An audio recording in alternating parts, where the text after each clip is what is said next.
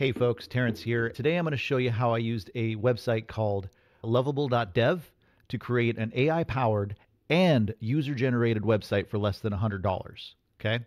So, in other words, today I'm going to show you how I use six no code tools to deploy a website using artificial intelligence to create new pages in real time whenever a visitor clicks on specific links in that website. First, I'll show you the simple functionality of the website. Then I'll show you how I used AI to create prompts for the basic structure of the website. Finally, I'll show you how I use the various tools to build, deploy, and host the website. Ultimately, I'll show you uh, the AI tools I use to create the content for the website.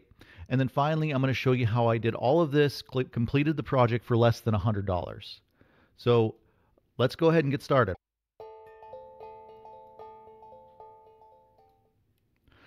All right.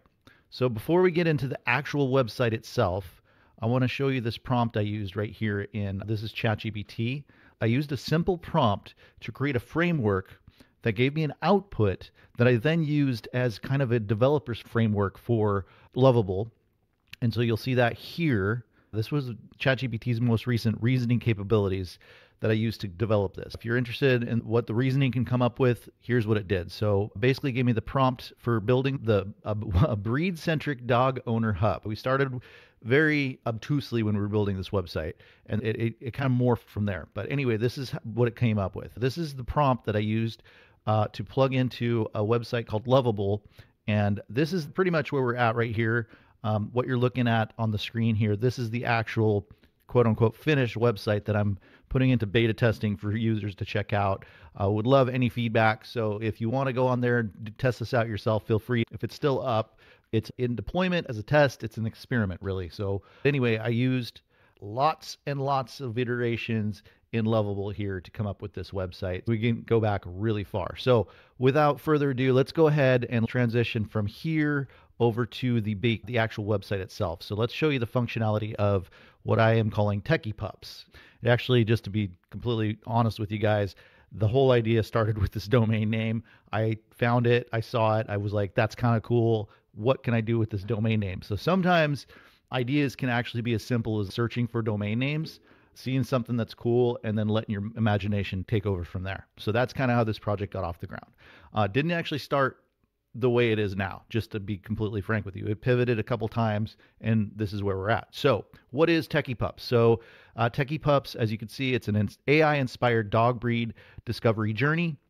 You've got a search box here, and you've got um, all dog breeds down below. Now, I've went back and forth with the functionality of this many times to kind of get it to where it is today. Let me just run you through what's on the landing page here. We've also built an about page because I wanted to keep simplify what the website really is. So that's in there. You can sign in and sign up. I'm sort of functional right now, but I'm not even worried about that right now. And I'll tell you why in a minute. So all of these breeds that you see here, they have already been generated by me using AI to spin them up essentially. So Afghan Hound, here's uh, you see I'll load breed, breeding information. That means the landing page has already been spun up, and this is what came out. And now I can even ask a question. So does this breed shed?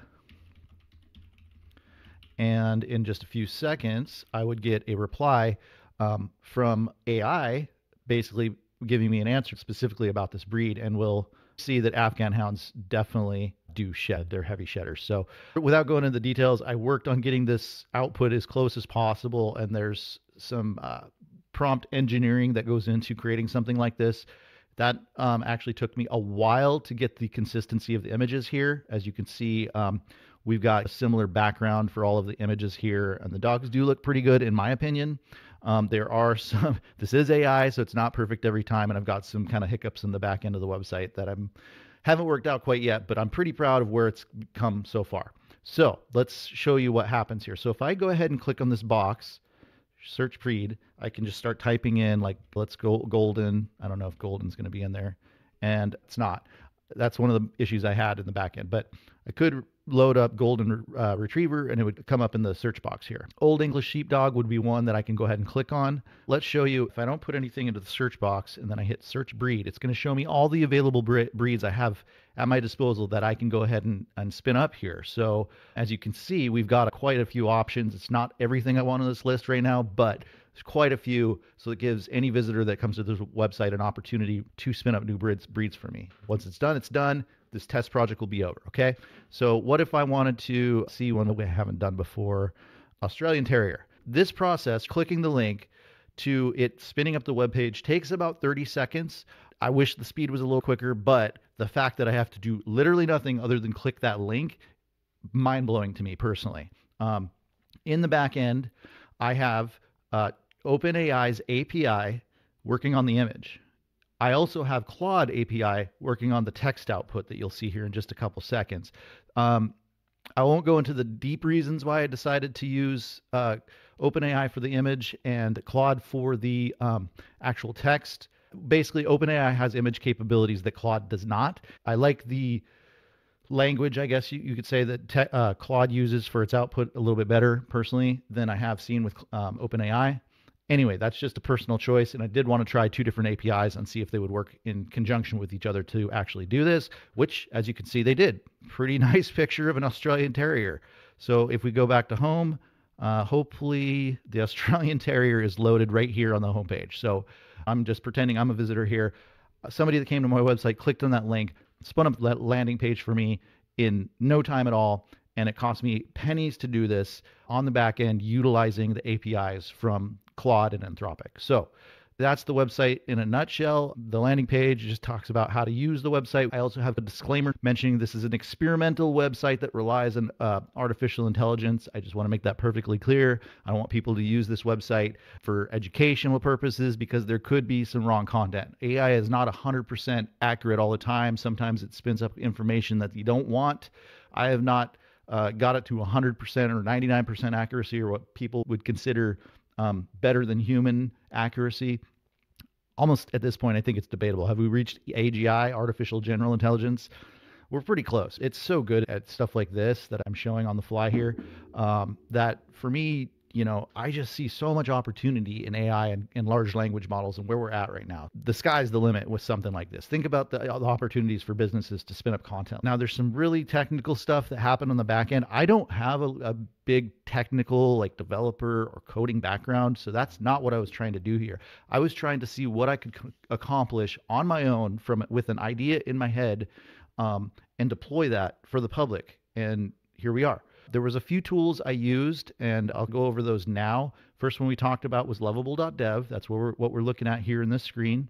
I also used OpenAI to prompt the framework for the website. So I used AI to create the AI prompt that I wanted to put in here to create the website uh, in the first place.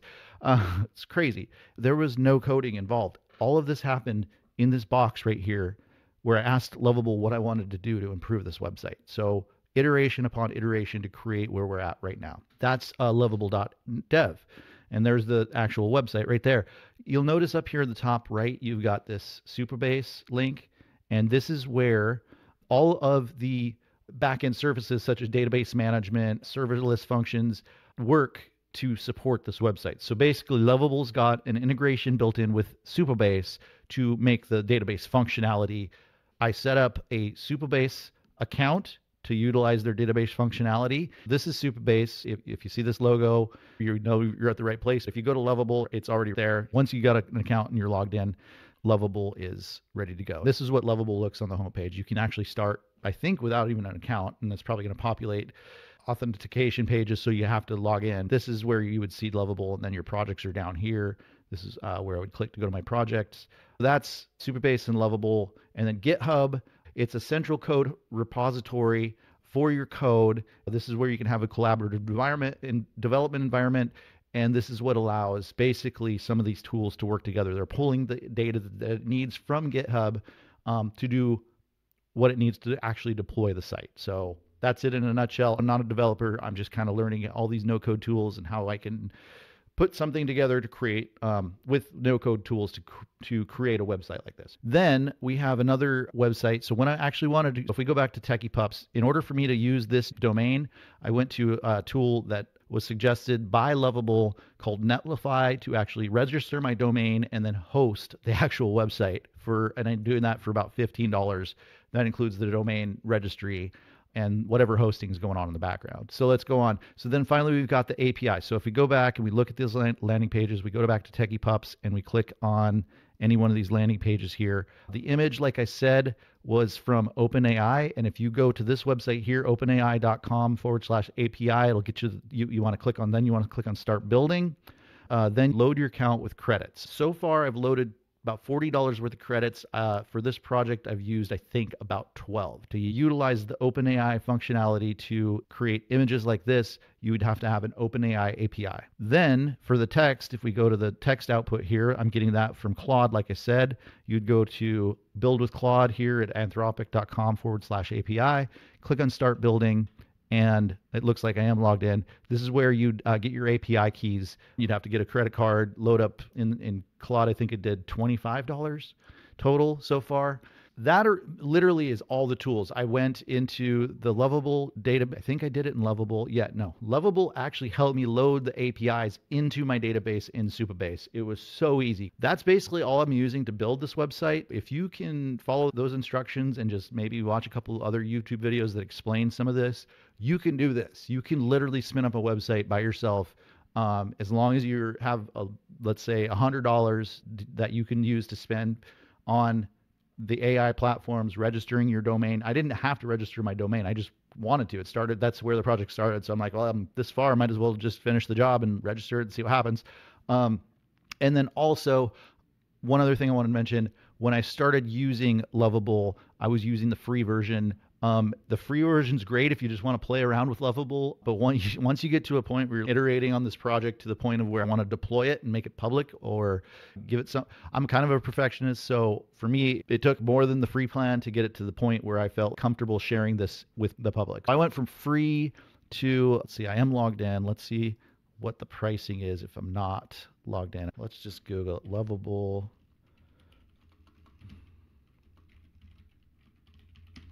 lovable pricing. So it starts around 20 bucks a month. I did that for a while and I got to the point where I actually went over what I was able to do with 20 bucks a month. So right now I'm on the launch plan at 50 bucks a month just to get this project off the ground. I limited out 100 messages. I think I'm close to maybe 175, maybe 200 just to get the project to this. I'm being completely transparent with you. I did have to spend about $50 with Lovable in order to get that far. I wanted to tell you also about the uh, expenses that I put into this project. Let's just go ahead and move this down so you can see what I, I did spend here. Make it a little bigger. Here are the platforms I use. Lovable, I've spent $50. Supabase, uh, I'm on a freemium version. At some point, I might have to spend a little mon- more money, but up, up to this point, I have not. Zero dollars. GitHub is an open source free repository. I have spent zero dollars on GitHub. Netlify, I did register the wrong domain. I actually uh, Instead of Techy Pups, I put the H before the C, so it's Techie Pups. I registered that domain, so I'm actually in for 30 bucks, but that was just a mistake. But I'd have a nice little redirect in case somebody spells it uh, incorrectly. So I guess maybe it'll be worth it someday. Who knows? Um, $40 in API credits is what I've purchased so far. I have only used for OpenAI about $12 worth of credits. So I've got 28 bucks left to finish this project. With Anthropic, I purchased $25 in credits and I've only spent $3 to spin up this website. It's crazy. Um, so out of all these landing pages that are up here so far, I have spent $15 to create all of this content utilizing AI to spin it up. So if you do the math on this, guys, this is the crazy part here. If you do the math, at this point, uh, I have a total investment of $80. I mean, for the educational value I've got, I would have paid you know, you think about it, you pay somebody to teach you this stuff, it's going to be much more expensive than that. Plus, then you'll have to buy the the credits to do the things we just did anyway. So, I I honestly recommend watch some YouTube videos on this stuff. Go into these tools, start playing around, start messing around. If you have some disposable income, put a few credits. I have all of those credits I've got, by the way, in OpenAI and Claude. They will, I, if if this website gets spam botted or some bot comes on there and just starts plugging away on it, well, I'm limited to how many breeds I've got in here, period, to spin up on the page. I'm also limited by the amount of credits I've got set on my account. I will not spend hundreds of thousands of dollars if I get spam bot. For this, I'm comfortable with what I've got. I'm pretty excited about the fact that it is spun up by visitors on my site. That's just mind blowing to me. It's fairly functional. I still got to work some kinks out. I kind of want to take the good image, bad image off the functionality on the landing pages. And so if I click bad image, it says I'm limited. But anyway, it is a fairly fully functional site that I was able to spin up in two, let's call it two weekend days when I wasn't working at my full time job. The sky's the limit, guys. So that's what I got for you today. This is my journey in utilizing lovable.dev dev, plus some other awesome tools out there to create a, a website that spins up its own content. If you do like what you saw here and you want to see more of it, please like, please subscribe, please share the content if you'd like to learn more about this or some other projects or you'd like to work together in the future. But um, there's our schnoodle. um, there's some content to go along with the schnoodle in a context box where I can ask another question about the schnoodle. So that's that. That's Techy Pups in a nutshell. That's lovable.dev in a nutshell and what some of the things you can do with it along with those other tools. I really appreciate you guys watching all the way to the end. Again, this is Terence. Thank you, friends, for joining me today, and I hope you have a wonderful day, and I hope to see you again soon.